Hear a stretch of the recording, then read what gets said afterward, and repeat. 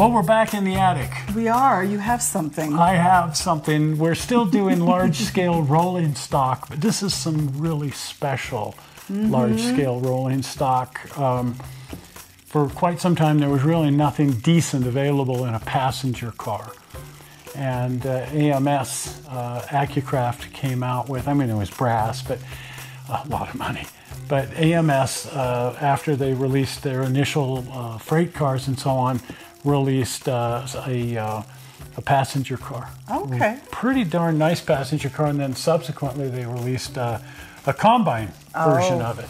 At any rate, this monster right here Wow. is uh, Um, is one of the it's one of those. the passenger cars. It's a Jackson and Sharp coach, which was uh, used on the Rio Grande. Now let's see if we can get this out of here. As we've pointed out before, in a lot of this large scale stuff, Boy, they've got it cemented in there. if it's not really well packaged, it'll break. Right. And And these uh, always make me nervous every time he takes one out of the box for that very reason. so unboxing these guys. You go that way and I'll go this way. There you go. Down. Okay. This one doesn't have the usual split apart styrofoam. Right, which is Which tore the brake rigging off our tank car when Right. we tried to, you know. yeah. So I kind of prefer this. It's got the, the clear window on there, and then I think it's a little bit easier. It fits in there a to, little uh, more secure. Oh, there's tape on this side too. Yeah. So you still have to Fandangle it. fandangle the tape. I don't see a cutting instrument anywhere. Jeez. You get the first one going, the second one's much easier.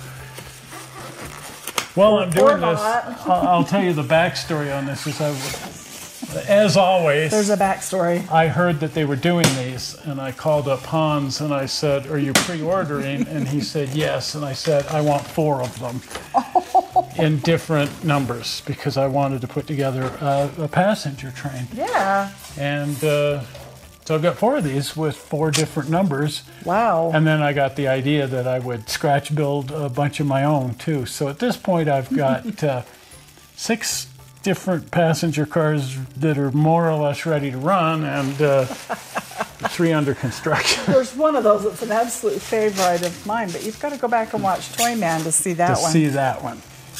Oh my gosh. It would be nice to be able to get some of these things out without destroying them in the process. in the process. They need the Mission Impossible uh, stuff, you know, the self-destruct, Yeah, not the model itself. got to figure out what exactly What comes out? I think you've got another wad up here. in place. Mm-hmm. Man, If you can get a hold of the plastic. is that what we're gonna do? Is there plastic too? There's oh a my. plastic outer wrapper that might facilitate. Maybe that's what it's for. But one of those ribbon things just- like battery compartments have. Uh, tearing the plastic.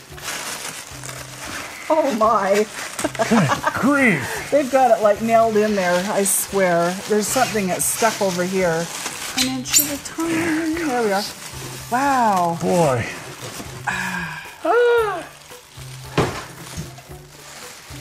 And here it is, finally, in all of its plastic wrapped Yes. glory.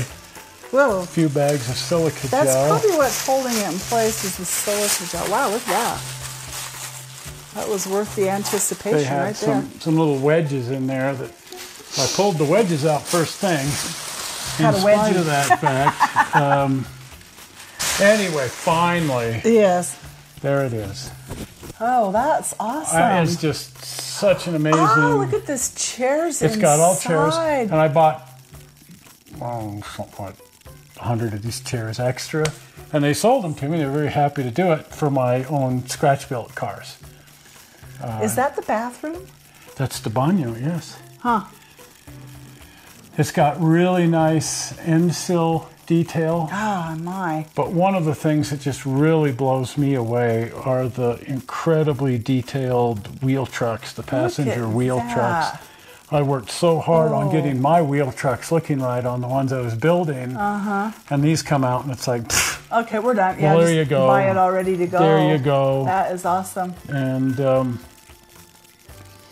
uh, I will say that uh, Hartford products, uh, uh, Dave in Cedar City, um, makes an excellent wheel truck. It's about 100 bucks just for the wheel truck, something like that. Wow. And they'll sell these wheel trucks separately too. Hmm. Uh, but you can almost buy the, the whole car. Wow. Anyway, it's really nice. I got a heck of a deal on these from Hans Mm-hmm. by buying four of them months before they were available. Look at that. Um, I cannot remember. I paid something around 600 bucks for all four of them, Mm. something like that, wow. which was a really good deal. And I don't regret it at all. Just really neat. And I'm really looking forward to actually having a large scale railroad Mm-hmm. to run it on Yes. because we, we haven't. Uh, all this stuff got packed up when I was in California and moved to Utah and started a YouTube channel. And on And on and on and on and on. and the on it rest goes. is in history. And these have been boxed up Yes. ever since, never out Right. of the box since I bought them from Hans. Right. But how beautiful That's really awesome. that? Is that just neat? Wow. And I want to uh, attempt, if I can set this down Careful. very carefully, Mm-hmm. to show you one of the ones. And, and we did a show on these. They're insanely heavy. Oh, my favorite. these Darn, are he gave it so heavy. Yeah. Um, but um, I, I scratch built these two cars, entered one in the narrow gauge convention, and won a great prize there and best passenger car and so on. And uh, totally detailed them out, and and these are those wheel trucks I worked so hard on. That's just wow. But I, you know, and they look they look really good. I'm not going to hold up the other car too, but they look uh, Hmm. really good together. And then uh, The inside, I love the, the. the fun here was I actually like the video you did on this Jeb, uh, before. Jeb, yeah, there's Jeb. Jeb is on the loose and he's missing his suitcase too. so. But uh, this is the uh, the car that was destroyed in uh, Butch Cassidy and Yes. the Sundance Kid. I Yes. wanted to model that one, but uh, it's got uh, a fairly extensive interior going for it. And uh, this is the one that I entered in the narrow gauge convention. And uh, it needs a little a little bit of repair. There's Yeah, a few little few little on it. things that are on the loose. Uh, I was especially happy with how the the running gear exactly. turned out. Right. It just really came out nice. and uh, all Yes. of all of the little interior That's just fun. details and, And your and pumpkins. everything. And my uh, brake hose just came off. Oh, well, there That's you go. that's the nature of Put these Jeb to work and he can get it fixed. Things are things have been sort of damaged and moving around, and they need a lot of. The other car is the short RPO, Yes. and the railings have come loose, and Uh, we've got some the lights are all ripped loose. do. Everything. This this one, the lighting and everything, still all good. It's anyway, still good. There it it, is. it now needs its brake hose reattached. Well, if you haven't been over to the channel, pop on over to the channel, and if you're not a subscriber, here comes the blue button. Are we ready, Ready? for it?